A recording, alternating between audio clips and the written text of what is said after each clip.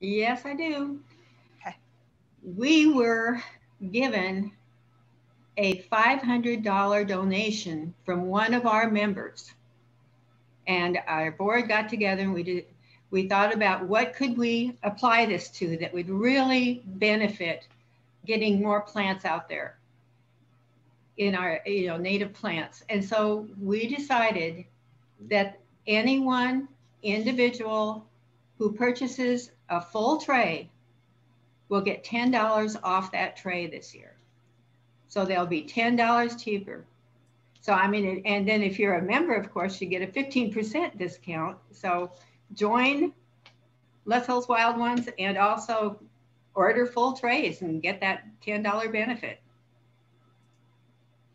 and that's it. And Elisa, are you going to do more or are you Yep. stopping? Nope, I'm on next. Okay. Okay, thank you, Diane. That's a, that's a fabulous offer. And like you said, we hope everybody takes advantage of it. We want to see everybody get a whole tray of plants and get them in the ground. Um, So with that, I'll go back to the screen share. We'll see how this works.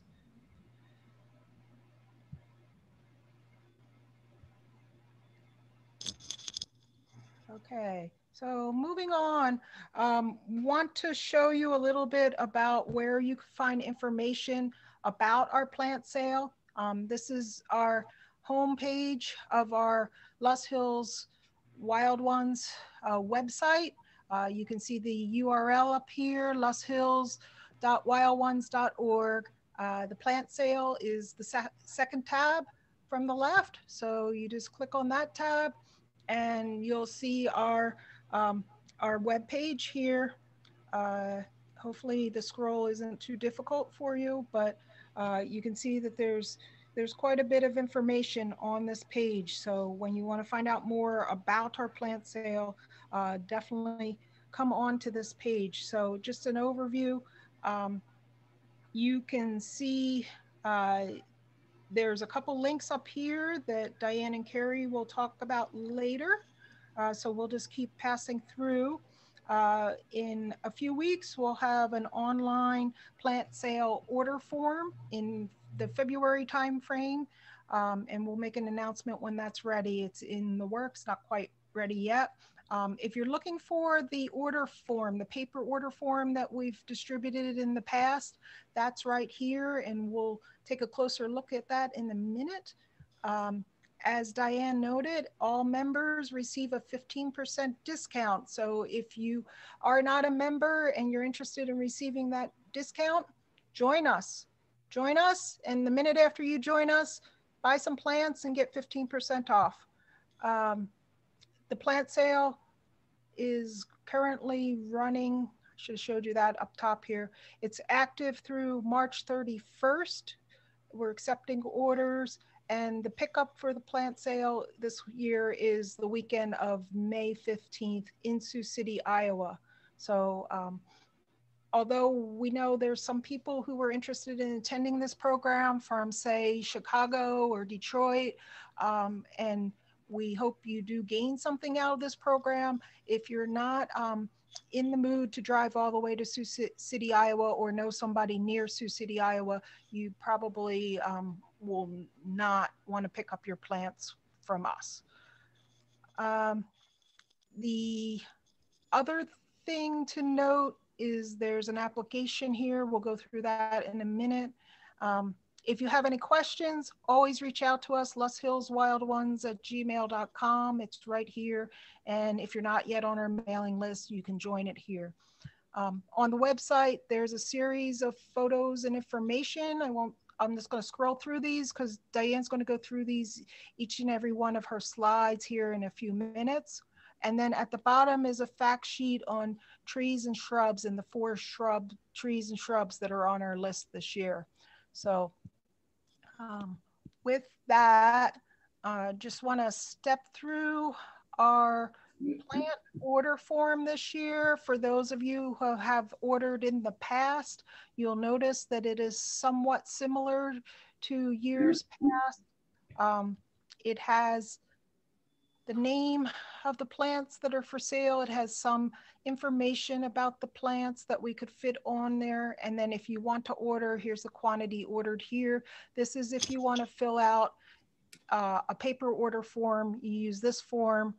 Uh, in a couple weeks, we'll have an online order form, but you can also download this and use it, mark it up, use it for your reference. So um, these are the plants. Scroll through there. At the bottom are the trees and shrubs. The photos are on our website. Um, and then similar to before, this is the how to order section. Um, like Diane said, we are discounting our trays of 32 plants. For members, it's $86. For non-members, it's $102. If you want to buy individual plants, that's fine too, $3 each or $3.50 each. Um, so are there any questions about the order form before we move on?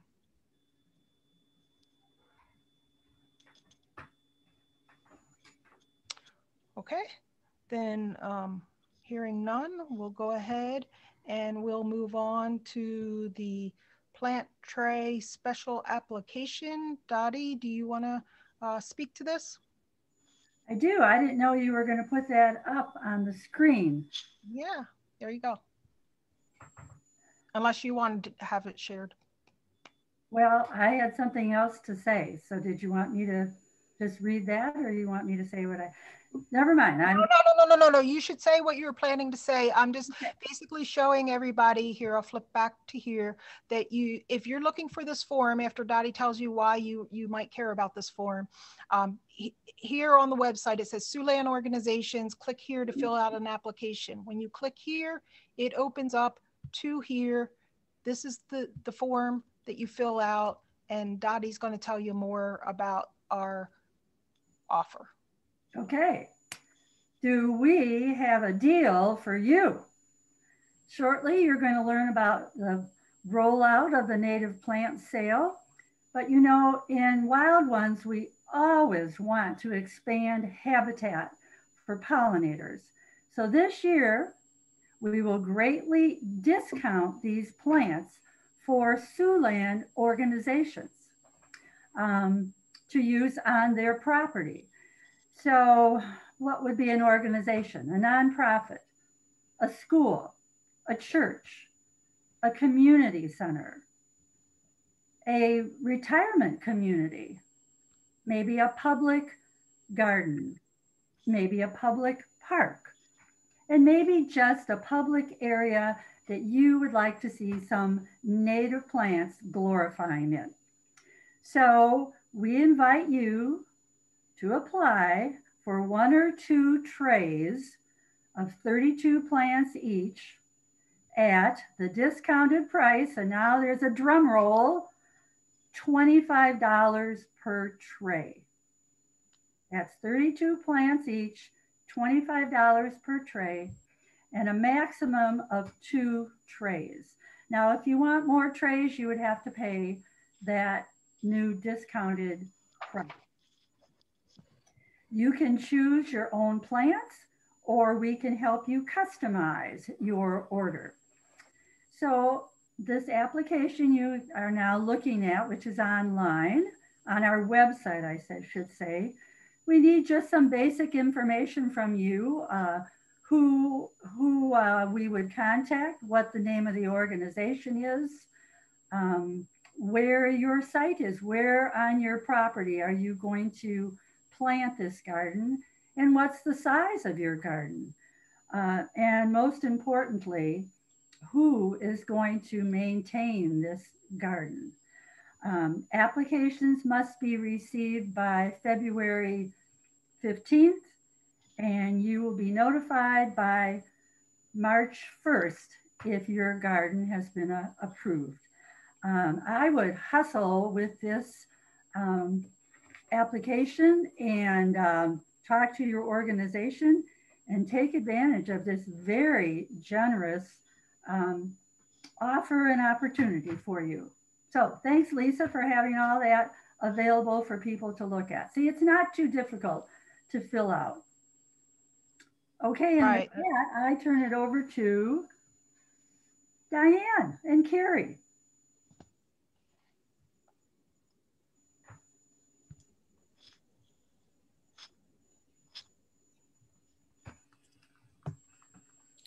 Well, Diane, I'll go ahead and um, share my spreadsheet.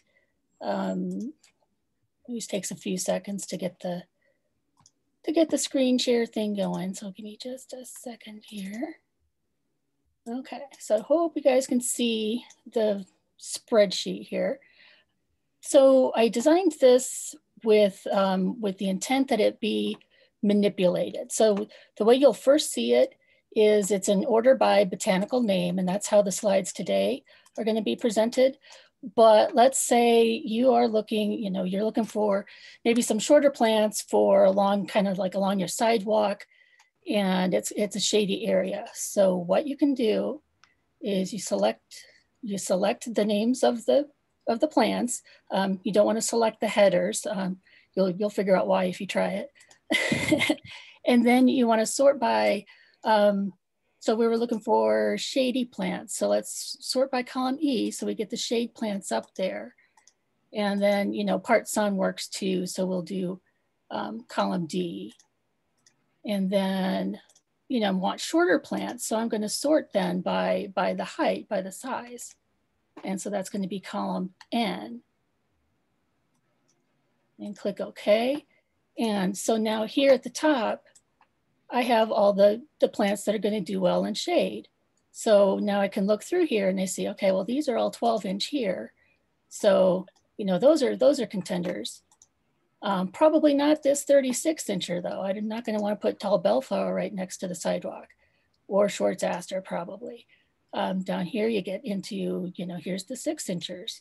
And I'm say, oh, wow, well, calico aster, that's, you know, six to 24. That's kind of a big, big range. So I'm gonna go over here and I'm gonna look at, look at the comments and notes and see what that says. It says, well, this one can be cut short and it'll still bloom. So even though it says six inches, I can keep it, you know, cut to six or eight inches or however tall I want it to be, and it'll still bloom and it'll still feed the bees. So that's just a quick, a quick tutorial on how to use this um, to kind, kind of help narrow down some of your choices. The other feature I'd like to point out is the blooming period. Note that we do try to match the color of the blooms um, in the fields here. So that can help you figure out, you know, if you really want some, some, some blue or purple plants, you're gonna know right away which ones to consider. And we have other some other information such as um, what you know what form it takes, um, how aggressive it is. Some of these you're not going to want in your urban garden. Um, so, for example, anything with an A is going to be too aggressive. You're not you're not going to want to use that, or you're going to want to do a lot of research before you decide if it's appropriate. Now, some people are looking to fill space. You know, they're looking to you know to to help kind of crowd out some invasives, or they just have a wide swath that they need they need to put something in. And that's when you're going to maybe want to consider some of the aggressive species, but you're going to want to be careful with those. Um, so we'll, I'll just leave that at that. Um, we did put a lot of work into this, Diane and I did. Um, so do, you know, so do refer to it. We have a lot of information here in the comments and notes as well. Um, if you have any problems with it, uh, let me know and I'll try to try to figure it out for you. Yeah, um, Carrie put in a tremendous amount of work on that, you can imagine. And I, I would make um, maybe two more comments. Like if you're looking at tall plants, plan your garden, get it on paper, look at your place, tall plants. Those, like if you have an island, the tall plants would go in the middle and then medium size and then shorter plants. But if you're looking out your kitchen window, and that's where your island is right out there, you might want to have the tall plants at the back of the island because of your perspective that you're going to be enjoying it. So there are various things to consider. And also maybe your tall plants, maybe you just want them by the back fence or by the alley or something like that. So, so these are really important.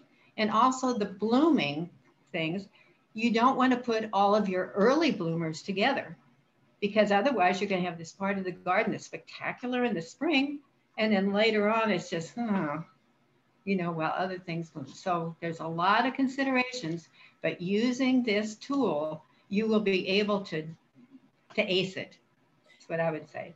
Diane, I have Okay. one more one more thing I want to share. I forgot about the the uh, the the the document. It helps. You know, we say you know it's good for good for sun, good for shade. Well, what is sun and shade? What are what's a clay soil? How do I know if I have clay soils? So Diane and I put together this document um, that actually defines the term many many of the terms, all the headings, and some of the other terms that we use um, in the in the spreadsheet.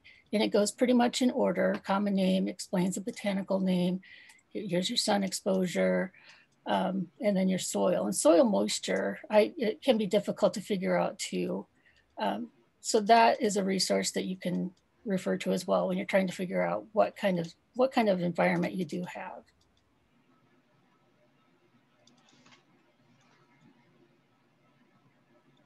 And there we go. That's the end of it. Okay, are you done, Carrie? I am done. Okay, yeah. And remember, what a benefit your native plants will provide, especially to pollinators and birds, while they soak up rain, lessening runoff, as well as the pollution caused by fertilizers, pesticides, and lawnmowers. Just think, they're great.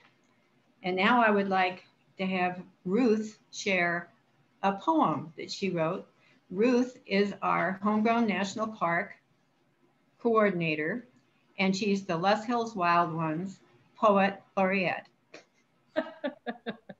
well, thank you for that introduction. I appreciate that very much. And I, my poem is called Nature is Right Here. I learned a thing or two this year.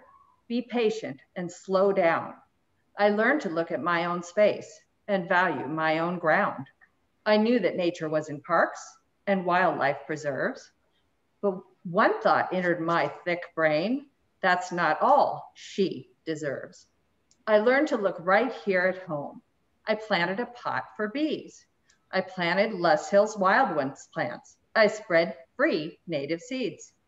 My dearest treasured friends chipped in, built habitat from sticks and wood. I made some new friends in my yard and in my neighborhood. They spread seeds too and spread the word that nature is right here, right on my deck, right in my yard. The message was quite clear.